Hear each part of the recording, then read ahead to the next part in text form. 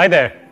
Searching for steps to manually compact PST files to eliminate the deleted item space in Microsoft Office Outlook 2010 on your Windows Vista based computer system? Well, I'm here to help you do just that.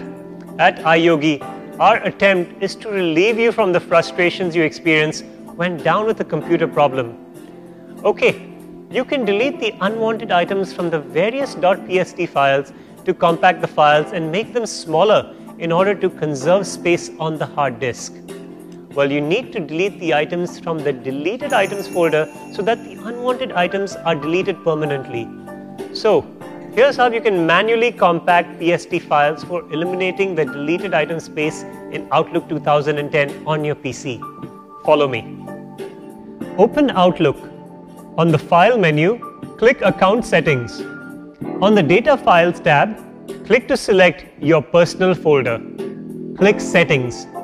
On the General tab, click Compact Now. Click OK and then click Close.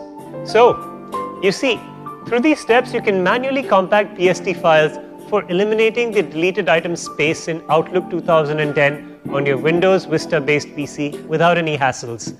Don't you just love technology?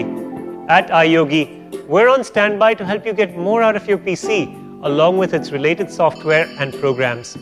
If you have questions on antivirus, security, protection, or on how to work your other devices with your PC, such as syncing your printer, MP3 player, camera, or router, etc., just give us a call.